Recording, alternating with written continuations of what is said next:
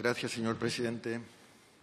Señora ministra, mire, con las estrategias que hemos venido empleando, y cuando digo hemos, tomo una responsabilidad colectiva por encima de partidos, las que se han venido empleando en este país durante las últimas décadas, hasta la fecha en materia de prevención y gestión de ciclos de sequía, lo que hemos conseguido es que las crisis de sequía vayan siendo cada vez más traumáticas y más costosas.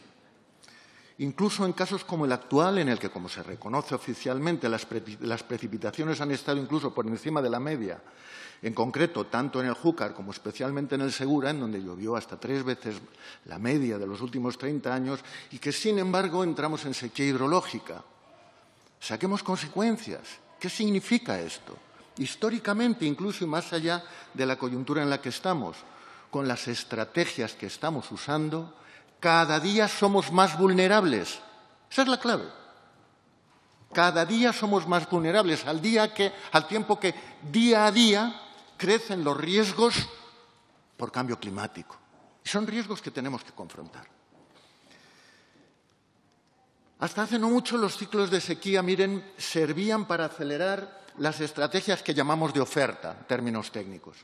Al usarse esas situaciones de sequía para justificar nuevas grandes presas que servían de base a nuevos desarrollos, no eran propiamente obras de sequía. Con lo que en la siguiente sequía lo que teníamos es más presas vacías y un mayor impacto económico. En general, yo suelo decir proponer como estrategia, que no es el caso en este momento fundamentalmente, pero lo cito para entender el proceso Proponer nuevos embalses para futuras sequías es como regalar un monedero a un pobre. pobre ya tiene monedero. Nosotros ya tenemos presas en sequía, ahí están, vacías. Luego la solución no está en hacer más presas que estén vacías en la siguiente sequía. Una cosa tan elemental la hemos venido obviando, porque demagógicamente colaba en la opinión pública. En la actualidad, como luego explicaré un poquitín más detalladamente en el poco tiempo que tengo, las crisis de sequía son usadas por el Gobierno en particular para ampliar y profundizar las políticas de mercantilización y de privatización del agua que promueve, desgraciadamente, en estos momentos el Partido Popular. Luego hablaré un poquitín de ello. Como ya dije en el Pleno de la Cámara, miren, es tiempo de mirar de frente a los ojos al problema y reconocer lo que en parte ha hecho Ciudadanos ahora, que me ha parecido estupendo en algunas de las cuestiones, en otras no estoy de acuerdo, como él mismo decía, pero en otras me parece muy interesante lo que he oído. Reconocer que hemos llevado de forma insensata nuestros acuíferos y nuestros ríos a límites de sobreexplotación insostenibles, incluso en años de normalidad o de abundancia, lo que nos coloca al filo del precipicio cada vez que llega un nuevo ciclo de sequía. Nos coloca en situación de máxima vulnerabilidad y sin reservas. Ese es el problema de fondo. Ese es el problema políticamente difícil, ya sea un gobierno del PP, del PSOE, de Podemos o de cualquiera. Ese es el gran problema que nadie se ha atrevido a afrontar hasta ahora. Por ello proponemos un cambio de estrategia que se basa en los siguientes puntos. Primero, fortalecer el sistema de seguros frente a riesgos de sequía. Y lo ha introducido usted, pero luego no lo hacen de facto. Aumentando primero la partida correspondiente en los presupuestos generales del Estado, en lugar de congelarla de forma insensata, como ha hecho el Gobierno en la última ocasión que hemos tenido. Y sobre todo, y lo más importante, integrando el regadío en el sistema con una línea específica, y quiero eh, enfatizar y subrayar esto, una línea específica de apoyo a los pequeños y medianos agricultores y ganaderos, cuyas explotaciones son las que realmente están en riesgo de abandono.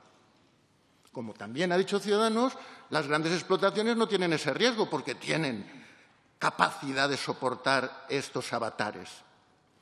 Es significativo que la, agricultura de secano, fíjense bien, queridos amigos y amigas, que la agricultura de secano, que es la que sin duda recibe un impacto más duro en los ciclos de sequía, no nos genera protestas significativas. Lo ha dicho usted, y estoy de acuerdo. ¿Y por qué? Pues sencillamente porque, en efecto, sobre los cultivos de secano, el, sistema de seguros eh, con apoyos públicos frente a sequía es operativo y funciona razonablemente bien. Segundo, sustituir la exención indiscriminada del cobro del canon y la tarifa en las cuencas declaradas en sequía hidrológica por líneas de apoyo económico directo a pequeños y medianos agricultores y ganaderos, estén en la cuenca que estén, porque si no se produce también una injusticia tremenda. Y supongo que eso lo dirán otros grupos también e insistirán. Estén en la cuenca, estén pequeños y medianos agricultores que hayan sufrido de facto impactos serios por la sequía. Con ello se evitaría que la sequía acabe siendo, como de hecho es en buena medida, un buen negocio en el fondo para los grandes productores y, sin embargo, la causa de un abandono acelerado por parte de los pequeños y medianos. Estas líneas de apoyo económico a los pequeños y medianos productores en compensación a la pérdida de producción, de producción debería ser sustituida por la línea específica de apoyo al seguro de sequía para esas explotaciones en el futuro, una vez el sistema público de seguros en ese frente se extienda de manera eficaz al regadío. Esa es la clave. Tercero, acabar con la sobreexplotación, que ya se ha citado también, ese millón largo de pozos ilegales que existen y que no se reconocen, se mira para otro lado porque es impopular políticamente meterle mano al problema. Y lo entiendo, pero hay que hacerlo es que el cambio climático nos obliga a colocar ahí el énfasis central. Y por otro lado, subvencionar caudales suplementarios en sequía para pequeñas y medianas explotaciones vulnerables. Insisto en esto, yo no es que tenga ninguna manía contra los grandes productores, solo que igual que no damos becas para los hijos de personas ricas para ir a la universidad, tampoco tenemos por qué subvencionar situaciones que no son de emergencia propiamente, que no son de quiebra, que no son de riesgo real, a grandes explotaciones que son muy prósperas. Y bien que les vaya, me parece bien, no me parece mal. Pues bien, lo que digo es eh, subvencionar, ahora sí, eh, caudales eh, suplementarios en sequía con agua desalada, regenerada o con pozos de sequía. Cuarto, detener y revertir la política en curso promovida por el Partido Popular, que viene usando la sequía para acelerar y profundizar el libre mercado de derechos concesionales de agua, como decía antes. En este sentido, debe respetarse el artículo 69 de la Ley de Aguas, que no está ahí por lujo, no está por nada. El legislador lo hizo bien. Restringe el volumen de cualquier cesión de derechos al caudal medio usado durante los cinco últimos años. ¿Por qué? Porque intenta y prevé lo que hace, en definitiva, lo contrario de lo que hace el Gobierno, el decreto del Gobierno, que, en definitiva, es eh, permitir, excepcionar esa norma de la ley para permitir lo que se llama el mercado, el mercadeo de derechos de papel. Lo cual, ¿a qué lleva? A la sobreexplotación de los acuíferos. ¿Qué pasará, me pregunto, señora ministra, si en años sucesivos, como ya dije en el Pleno, y ojalá que no sea así, la sequía sigue? O en futuros ciclos de sequía, ¿qué pasará si seguimos incentivando la sobreexplotación de los acuíferos que ya están sobreexplotados? Y por último, de cara a reducir la vulnerabilidad de zonas sensibles de cara al futuro, estratégicamente proponemos, primero, promover la declaración de sobreexplotación. Mire qué cosa más sencilla y no hemos sido capaces de hacerlo, ni unos ni otros gobiernos, porque no era popular. ¿eh? Promover la declaración de sobreexplotación en los acuíferos que de hecho están sobreexplotados. Así de claro. Y aplicar de forma rigurosa los correspondientes planes de ordenación de extracciones, a fin de garantizar la recuperación de esos acuíferos como reserva efectiva para tiempos de sequía. Eso no es popular, pero es imprescindible. Segundo, desarrollar una línea de financiación que permita usar la energía solar y eólica como la energía base de la desalación, abriendo así una perspectiva de autosuficiencia en cuencas vulnerables a la sequía. Y tercero y último, establecer un régimen óptimo de explotación de las desaladoras existentes, previendo un margen de capacidad de reserva disponible para ciclos de sequía. Preguntas rápidas para inducir un poco su posible respuesta. ¿Se atreverá el Gobierno, en síntesis, a mirar realmente a los ojos a la sequía o seguirá usándola para promover el mercadeo del agua?